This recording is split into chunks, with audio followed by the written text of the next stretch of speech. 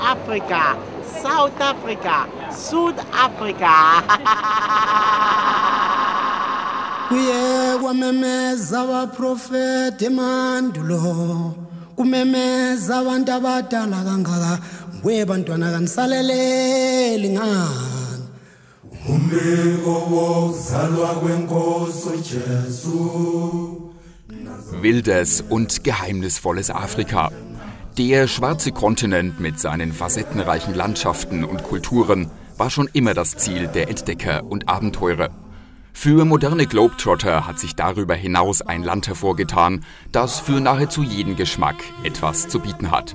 Südafrika.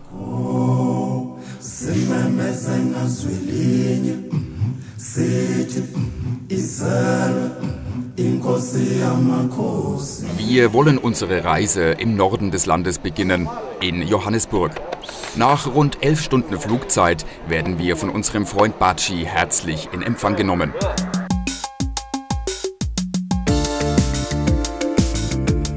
Als Finanzmetropole Südafrikas hat Johannesburg seit dem Ende der Apartheid wie kaum eine andere Stadt einen Wandel vollzogen. Die 8-Millionen-Stadt gilt als Boomtown und der Stadtteil Sandton schickt sich an, das neue Zentrum zu werden.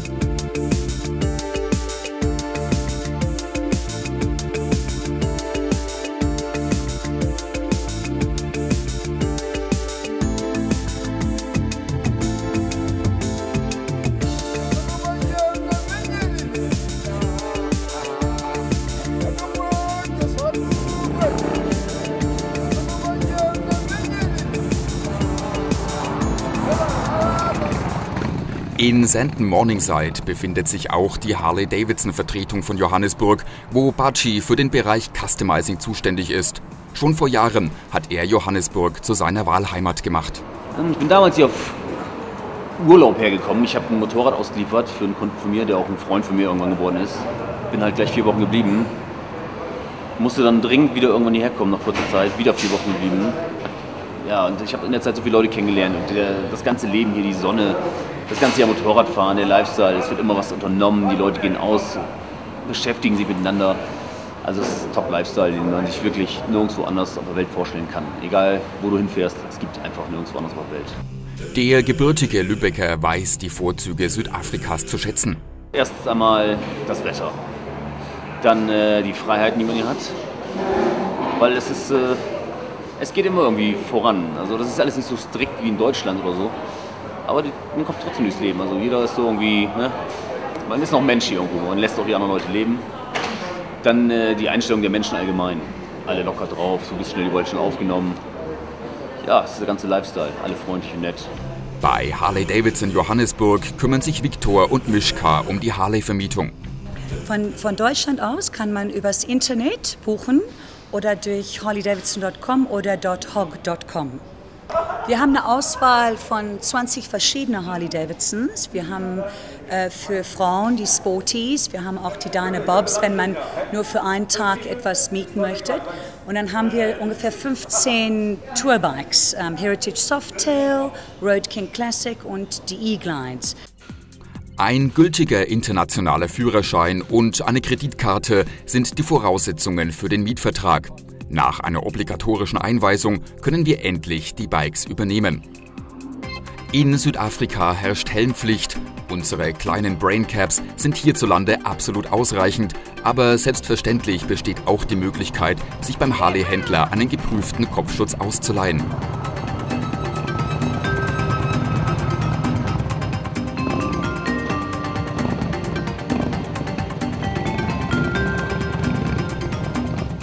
Vor dem großen Roadtrip wollen wir uns allerdings in Ruhe akklimatisieren. Das Landhaus am Stadtrand von Sandton Fourways ist dafür bestens geeignet. Die deutsch geführte Guest Lodge bietet typisch afrikanisches Ambiente mit den sogenannten Rondells und ist überaus bikerfreundlich. Besitzer Albert Schleier lebt bereits seit über 20 Jahren in Südafrika. Zum ersten Mal war es ein Urlaub, Abenteuerlust, was Ende der 70er Jahre. War ich zweimal auf Urlaub da, zweimal drei Wochen. Mehr Badeurlaub, weniger gesehen vom Land, ein paar Freunde getroffen. Und beim dritten und vierten Mal ging wir dann ein bisschen tiefer. Ich war ledig, unter 30, dann habe ich gesagt, ich probiere mal ein Jahr und bin rüber. Das Jahr sind es knapp 30. Da bin ich hängen geblieben. Und das gefällt mir ganz gut hier. Jetzt machen wir mal in zwei Wochen mal locker 5000 Kilometer oder in zehn Tagen. Und ihr werdet noch viel Spaß haben. Hat man.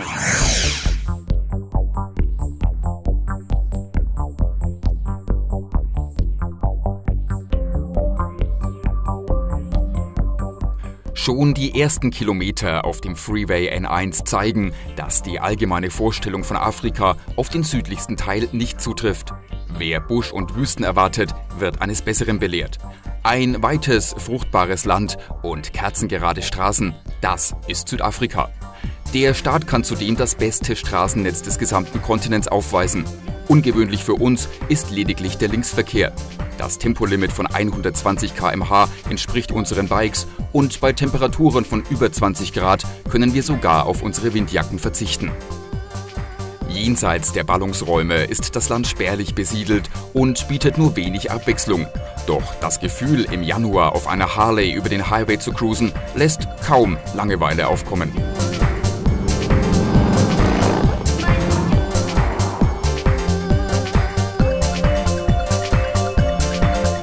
Wichtig sind gut geplante Tankstops. Nicht überall finden sich Tankstellen entlang der Hauptverkehrswege. Dafür kostet das Benzin auch nur halb so viel wie in Deutschland.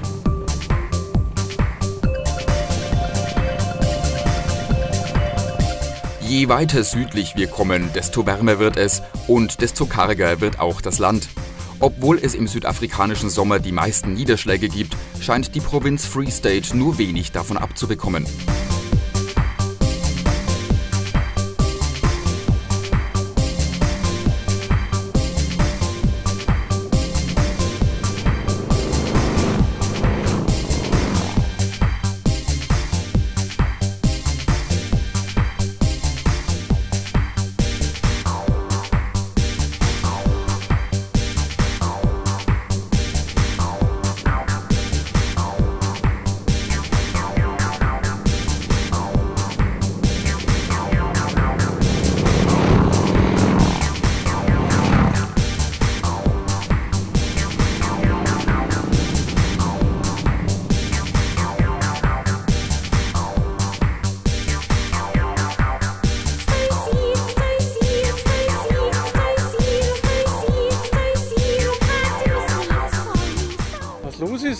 Jetzt ein Laster, ein riesen Lasterdonner ist gleich vorbei. Das Problem ist, dass ähm, das ein Harley Davidson ist und jetzt ist ein Laster. Das ist ein Harley Davidson und das hat halt nun mal Vibrations und die Screaming Eagle Super Sound ist jetzt gerade abgefallen.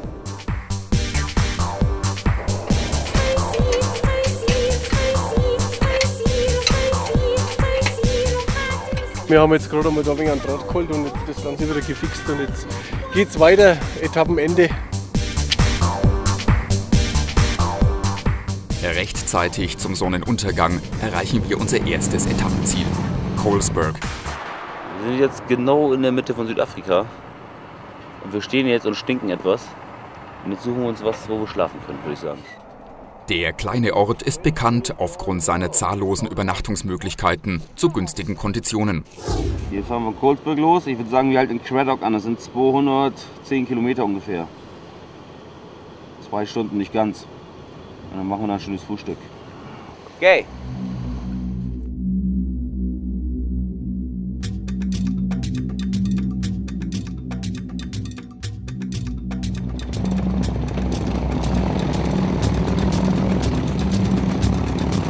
Nicht ohne Grund brechen wir sehr früh am Morgen auf.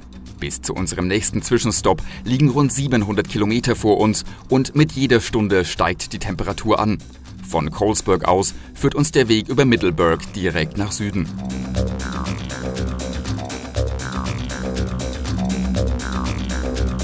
Die Nationalstraße N10 ist einspurig ausgebaut und endet direkt am Indischen Ozean. Der einsame Highway in der ausgedehnten Landschaft erinnert uns zwangsläufig an die kargen Wüstengebiete New Mexikos. Und wie es der Zufall will, ist hier auch DHL unterwegs.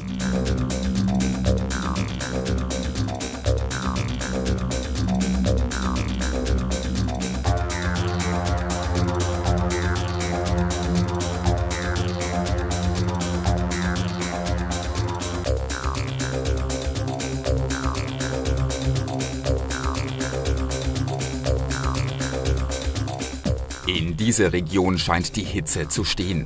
Die Sonne strahlt erbarmungslos und selbst der Fahrtwind wirkt bei 36 Grad wie ein Heißluftgebläse. Erst als wir die Küste erreichen, wird die Luft von einer frischen Meeresbrise abgekühlt. Für uns wirkt es fast wie ein Temperatursturz.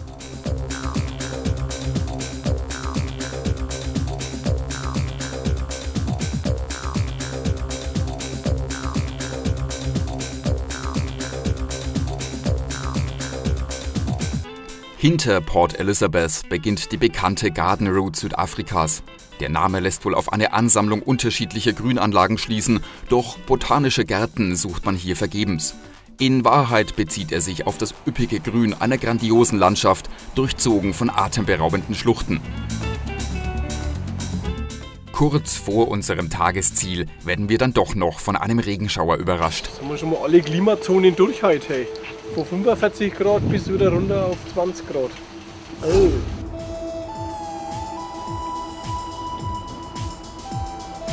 Von Plettenberg Bay ist es nicht mehr weit nach Neisner.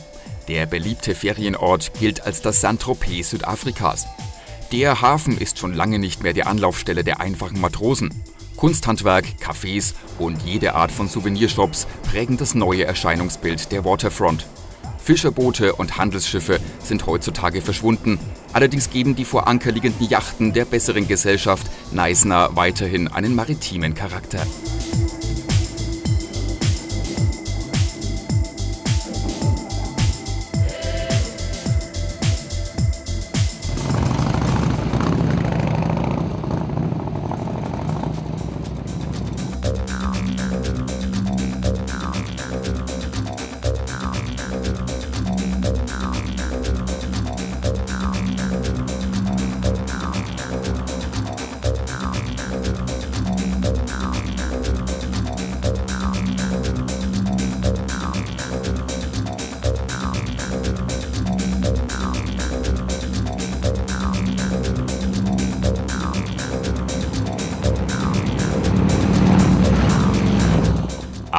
Mossel Bay führt die N2 wieder zurück ins Landesinnere.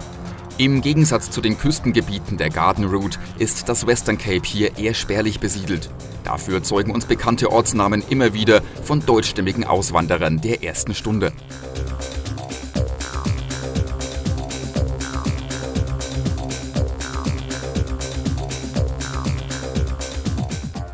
Knapp 100 Kilometer vor Kapstadt schlängelt sich die Straße stetig nach oben in die Ausläufer der Hottentots Hollandberge. Die gut ausgebaute Straße führt über den atemberaubenden Sir Lowry's Pass in die Kapregion.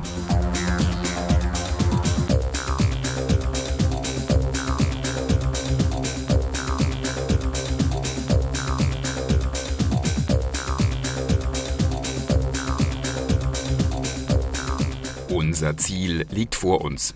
Kapstadt, die Mutterstadt Südafrikas.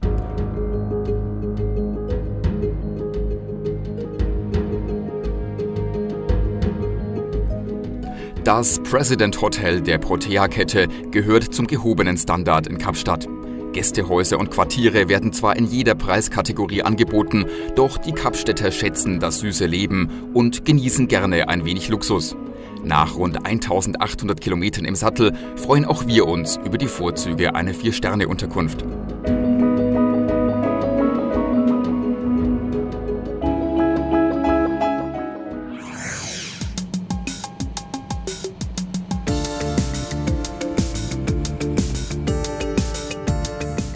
Der erste Weg in Cape Town führt uns zu Glengarriff Motorcycles im Stadtteil Three Anchor Bay. Butchys Freund Joel betreibt hier einen kleinen Custom Shop für amerikanische V-Twins. Der in der hiesigen Harley-Szene bekannte und geschätzte Customizer legt keinen Wert auf augenfällige Showrooms, dafür bestechen seine Arbeiten durch Qualität und Einfallsreichtum. Das gerade fertiggestellte Promotion Bike für einen Kapstädter Nachtclub spricht eine eindeutige Sprache. Aus Fiberglas wurde der Körper einer Tänzerin maßstabsgetreu nachgebildet und dient als Body für Tank und Sitzfläche.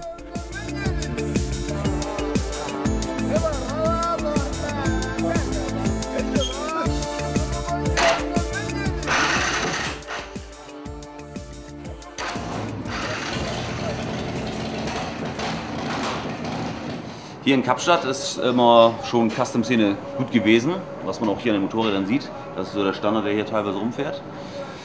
Ähm, es liegt halt damit zusammen, weil hier der Lifestyle besser ist. Wo du am Wasser bist, hast du immer größeren Lifestyle. Hier siehst du viele aufgemotzte Ami-Schlitten rumfahren, die Harleys sind getuned, customized und so weiter und so fort. Also ist hier auf jeden Fall verstärkt wie in Johannesburg. Aber in Johannesburg kommt es langsam. Joel und seine Mitarbeiter haben sich nicht auf einen Stil festgelegt. In der kleinen Werkstatt wird jede Art von Custom Bikes gebaut. Ja, wie du hier siehst, Shopper-Styles. Aber wie gesagt auch V-Rods jede Menge. Wir tun lots of V-Rods, ja? Ja, big some more V-Rods now. V-Rods werden viel customized, hauptsächlich natürlich mit deutschen Teilen wie Rick oder Limit Custom. Ähm, Dreckstyle-Geschichten, so wie du da vorne siehst. Das ist jetzt so ein bisschen, mehr kommt dieser europäische Stil. Und das Schöne ist, die Polizei, die hält dich als Biker nicht an, was sie machen. Die machen eher so und freuen sich noch. Es gibt jede Menge Rallyes, Veranstaltungen. Es gibt halt viele große Rallyes, wo alles gemischte Motorradfahrer sind. Und es gibt, ich sag mal, drei, vier, fünf verschiedene nur Harley-Rallyes. Jetzt im März ist die Harley und Safari. Das ist eine Hock-Veranstaltung, die ist oben in Sun City. Ja, that's uh, They're gonna be, die that'll be big. 1000, 1000 Leute werden wahrscheinlich kommen mit ihren Motorrädern. Viele aus Übersee auch teilweise. Leihen sich ihre Motorräder vom Hock aus und so weiter und so fort. Bei Joel hat Batschi sein zweites Bike untergestellt. Ja, das steht hier immer beim Joel rum während der Sommermonate. Weil äh, ich habe oben die E-Glide und da fahre ich am liebsten mit, ganz ehrlich gesagt. Und wenn ich hier runterkomme, dann habe ich halt ein schönes Motorrad zum Fahren. Na, also wie gesagt, E-Glide wird an der Ecke gestellt meistens. Nehme ich nur für einen langen Trip. Und hier für die Stadt immer das Bike. Okay, und jetzt nehmen wir das schöne Baby mit und jetzt wieder Kapstadt-Zeit für das Motorrad. Da wollen wir richtig Spaß haben.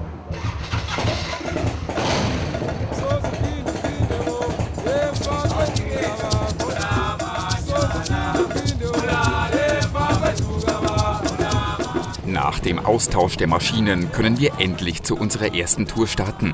Batschi kennt sich hier bestens aus und führt uns in Richtung Camps Bay.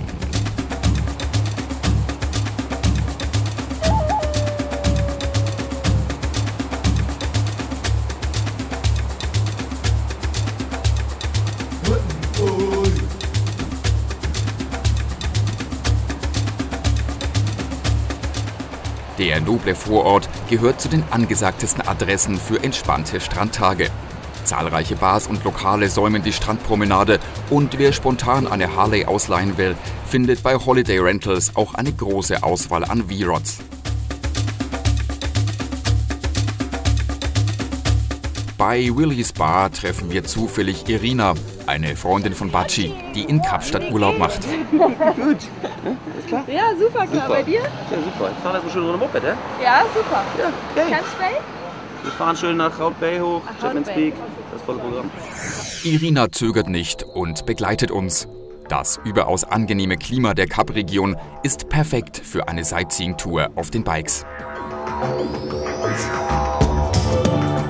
Die Landstraße windet sich kurvenreich entlang der Küste. Immer wieder laden die sogenannten Overlooks ein, die Schönheit der Buchten zu genießen.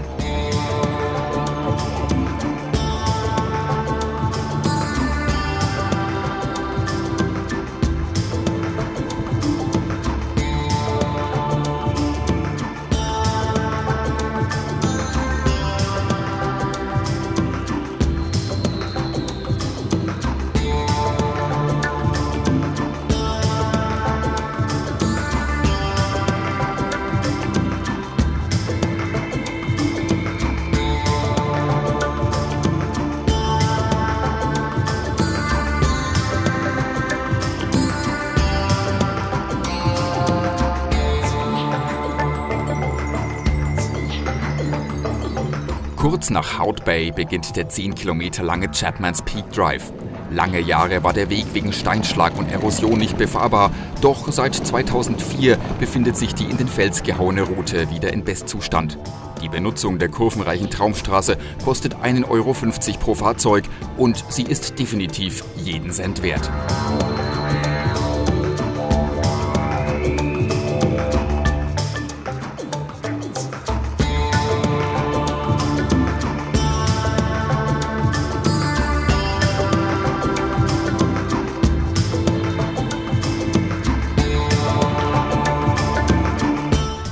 Monkey Valley führt die Straße wieder zurück ins Innere der Halbinsel Cape Peninsula. Vorher jedoch bietet der letzte Overlook einen Blick auf den ewig langen weißen Sandstrand von Chapman's Bay.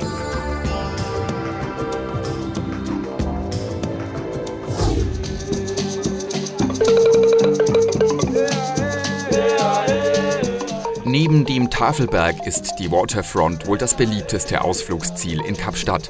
Mit der Kulisse des steinernen Wahrzeichens der Stadt im Hintergrund dürfte der Hafen zu den schönsten der Welt zählen. Auch wenn Kapstadt nach wie vor ein wichtiger Handelshafen ist, so dient die historische Waterfront mit dem bekannten Clock Tower nur noch als Anlegeplatz für Ausflugsboote. Der älteste Teil des Hafens am Alfred and Victoria Basin ist heute ein Vergnügungsviertel mit Museen, Theatern und unzähligen Lokalen. Und definitiv ein touristisches Muss.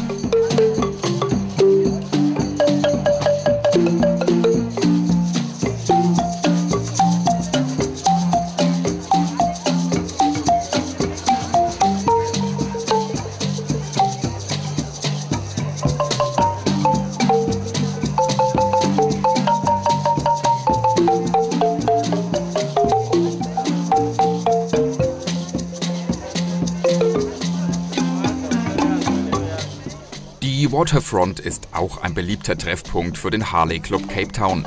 Zu unserer Überraschung führt der aktive Motorradclub mit seinen rund 300 Mitgliedern ein eigenes German Chapter. Die Leidenschaft für schwere US-Bikes verbindet eben überall auf der Welt. Wir fahren gerne Harley hier rund um Kapstadt. Ähm, gibt super Ausfahrten, schöne Weingüter, die man besuchen kann. Super Kumpels hier, ähm, verstehen uns alle blendend. Und die Sonne scheint fast jeden Tag. Also Harley fahren in Afrika, vor allem in Kapstadt, absolut super. Also ähm, Harley ist hier sehr hoch angesehen und ähm, wenn man eine Harley fährt, dann hat man es quasi, hat man es geschafft. Ja, also mit der Polizei, wenn man hier seine Harley fährt und die, die macht kein Geräusch, also kein, kein schönes Harley-Geräusch, dann sagen sie ja was verkehrt mit deinem Motorrad, hol mal deine ähm, Schalldämpfer raus, dass wir was hören.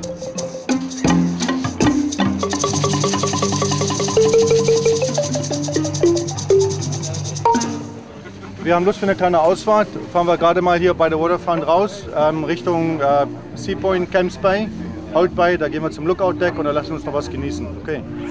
Da schließen wir uns gerne an. Mit 15 Bikes und den in Südafrika üblichen Phonwerten macht ein Ride durch die Stadt besonders Spaß.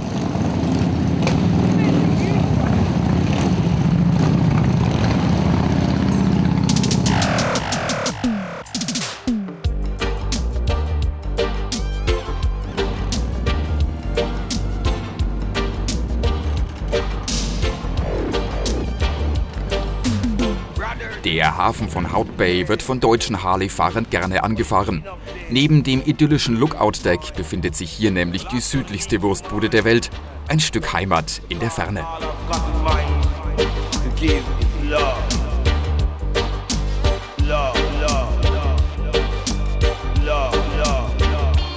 Kannst doch nicht unterstützen, das mal. Der sagt mal, müssen wir herkommen, wie gibt's eine Wurstbude, sagt er. Mein Kumpel hat mir das mal erzählt, der kommt aus äh, Mossel Bay. Der sagte mal, er geht immer hier hin.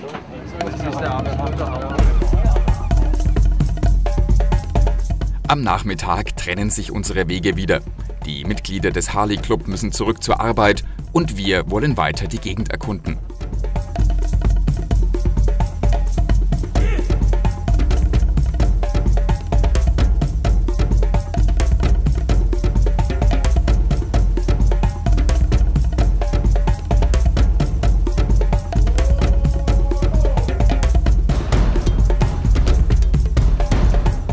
Obwohl Kapstadt Südafrikas Reiseziel Nummer 1 ist, kann von überlaufenen Stränden nirgendwo die Rede sein. Selbst die Table Bay, ein Eldorado für Kitesurfer, ist nahezu menschenleer. Ein Grund ist sicher in der geringen Wassertemperatur des Atlantik zu finden, doch zählen auch Ruhe und Entspannung zu den wesentlichen Werten der Kapstädter. Auch im Zentrum der Millionenstadt verweigern sich die Bewohner dem sonst üblichen Stress. Man zeigt sich stets freundlich und hilfsbereit. Selbst auf den kleinen Märkten zwischen Banken und Geschäftsgebäuden ist von allgemeiner Hektik nichts zu spüren. Auf den geschäftigen Basaren wird jede Art von Souvenirs angeboten und bei der enormen Auswahl an landestypischen Waren dürfte jeder das richtige Mitbringsel finden.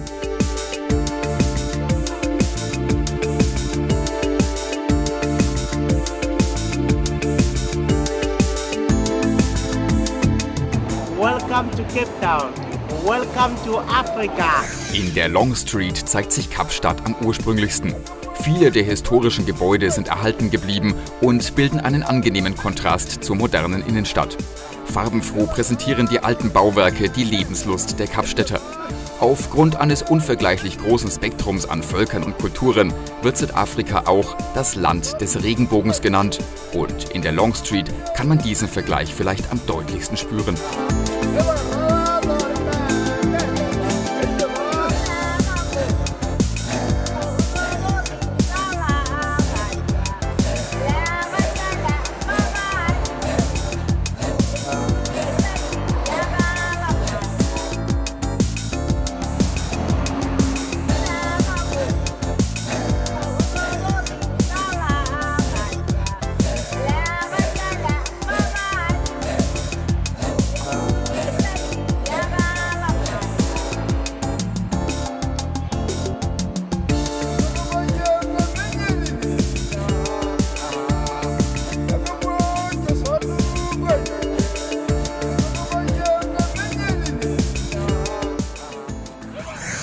Bei unseren Ausflügen schließen sich stets Freunde von Baci an.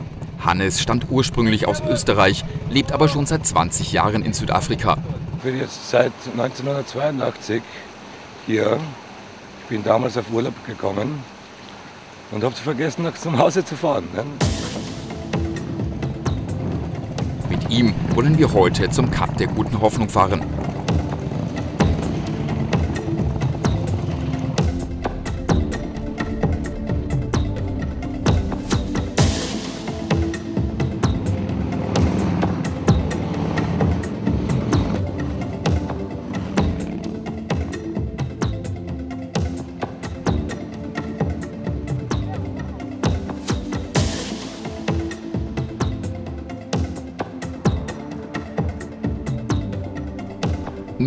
Teilstück des Weges führt entlang der Küste, doch hier wird deutlich, warum der frühere Seeweg um Afrika mit Risiken behaftet war. Selbst bei gutem Wetter ist die Brandung gewaltig und nicht ungefährlich. Entgegen der landläufigen Meinung stellt das Kap nicht den äußersten Süden des Kontinents dar, dennoch pilgern jedes Jahr zigtausende Touristen zu diesem Ausflugsziel. Cape Point, wie der südlichste Punkt der Kap-Halbinsel heißt, liegt umgeben vom Table Mountain National Park. Rund 5 Euro kostet der Eintritt zu einem der bekanntesten Flecken Afrikas. Dauergäste im Park sind die nahezu überall anzutreffenden Paviane. Die keineswegs scheuen Primaten nutzen die Anwesenheit ihrer entfernten Verwandten, um ihre Existenz zu sichern. Die Affen sind überaus geschickte Diebe und so muss mancher Besucher unfreiwillig sein Sandwich oder auch einmal eine Kamera abgeben.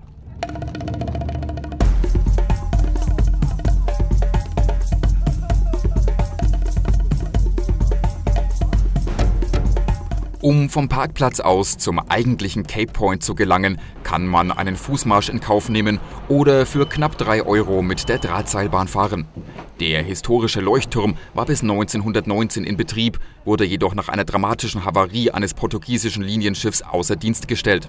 Aufgrund seiner Höhe von 249 Meter über dem Meer konnte sein Licht bis zu 67 Kilometer auf See ausgemacht werden, doch häufig bedeckten Nebel und Wolken das Signal. Wir haben Glück und können die spektakuläre Aussicht über die Falls Bay unbeeinträchtigt genießen.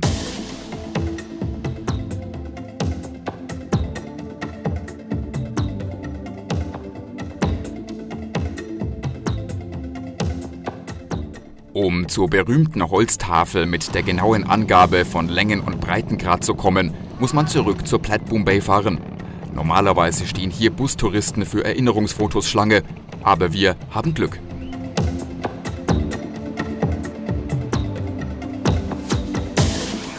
In der Nähe von Simonstown befindet sich eine weitere Touristenattraktion, eine Kolonie von nur hier vorkommenden Kappinguinen.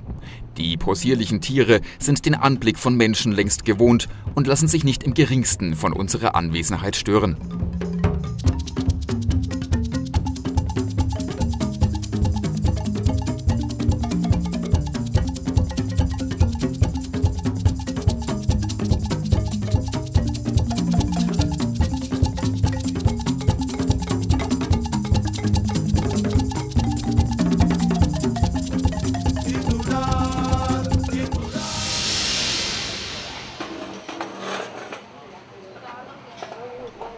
Stets wird nach dem Frühstück der Plan für den Tag festgelegt. Ein weiterer Freund von Baci bietet sich heute als Tourguide an. Guten Tag, I'm Sailor, I'm your guide for today. I will take you to show you my beautiful country, Cape Town, some wine farms, ocean, some we'll do a couple of mountain passes and just have fun. That's why we're here, to have fun. Nachdem alle Tanks gefüllt sind, geht es los. Sailor will uns seine Lieblingsstrecke entlang der Falls Bay zeigen. Ausgangspunkt hierfür ist der Ferienort Strand. Die perfekt ausgebaute Straße ab Gordons Bay führt entlang der Bucht in Richtung Betty's Bay und gilt als Geheimtipp für Biker.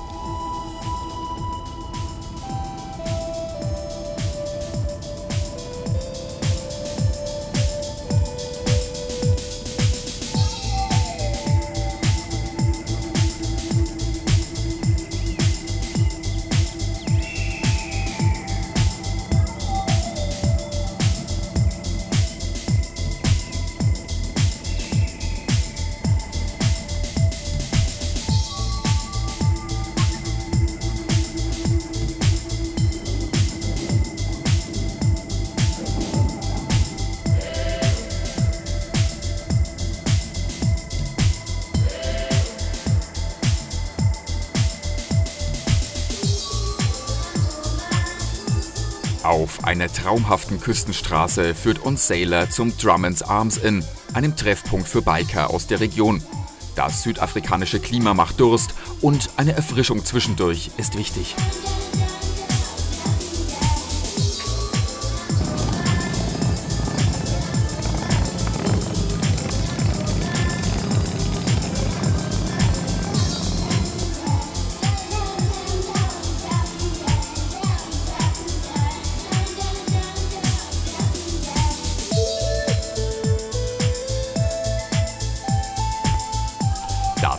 Klima und die Sonne verwöhnen nicht nur die Biker. Schon Ende des 17. Jahrhunderts erkannten die aus Frankreich geflohenen Hugenotten die perfekten Bedingungen für den Weinanbau. Vertraut man den Aussagen von echten Kennern, dann gedeihen in der Umgebung von Kapstadt einige der besten Weine der Welt.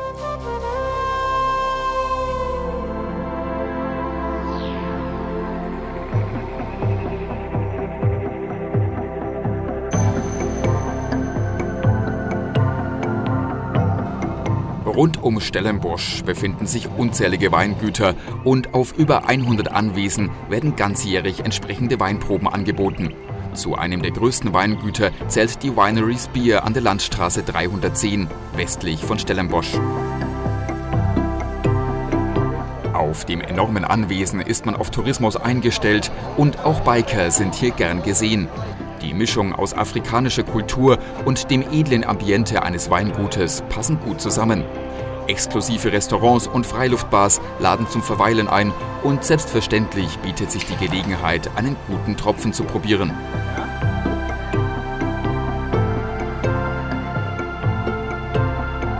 Eine Grundregel sollte dabei stets beachtet werden.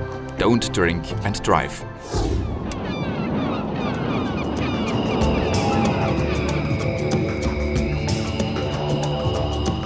Von der atemberaubenden Schönheit der südlichsten Kapprovinz waren die Menschen von jeher fasziniert. Herrliche Küstenstraßen, malerische Buchten und traumhafte Sandstrände lassen das Paradies greifbar werden. Selbst im südafrikanischen Sommer von Oktober bis April sind die Traumstrände meist menschenleer.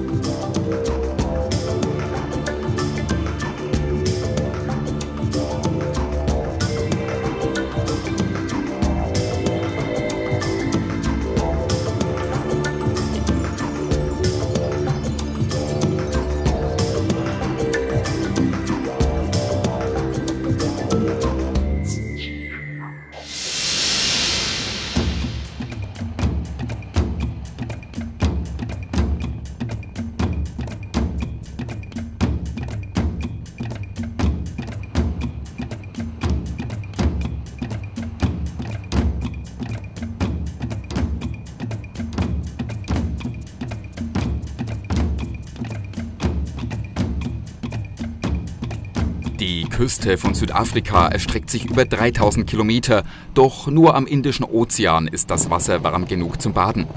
Aus diesem Grund zieht es die Kapstädter häufig an den Wochenenden nach Hermanus. Eingebettet zwischen hohen Bergen und dem Meer wirkt der Ort wie ein Paradebeispiel aus dem Reiseprospekt. Mittlerweile ist zwar aus der einst malerischen Fischersiedlung ein attraktives Naherholungsgebiet geworden, doch der ursprüngliche Charme ist zum Glück erhalten geblieben.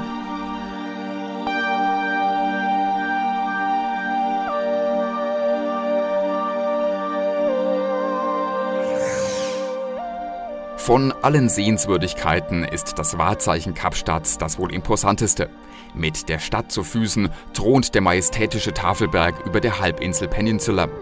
Die Kapstädter sind verwöhnt von der Schönheit ihrer Umgebung und feiern diese auch. Ein beliebter Treffpunkt zum Sonnenuntergang ist der Signal Hill gegenüber des markanten Lions Head. An den Wochenenden werden die Sundown-Partys von den Einheimischen regelrecht zelebriert.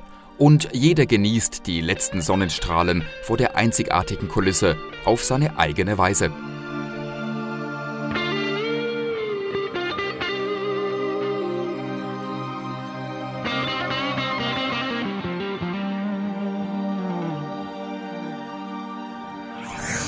Einer der absoluten Höhepunkte unserer Reise ist der Tafelberg.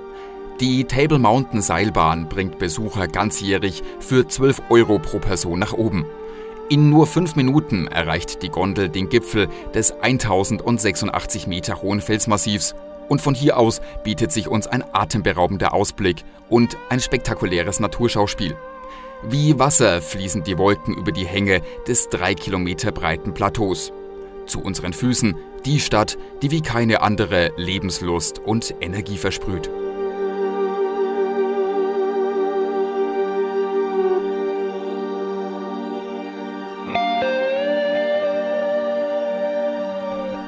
Sich von Kapstadt verabschieden zu müssen, bedeutet vom Paradies Abschied zu nehmen. Noch lange haben wir nicht alles gesehen und zu sehr sind wir fasziniert von Land, Kultur und Menschen. Aber vorerst müssen wir der Kap-Provinz Lebewohl sagen. Doch eines ist sicher. Wir kommen wieder zurück nach Südafrika.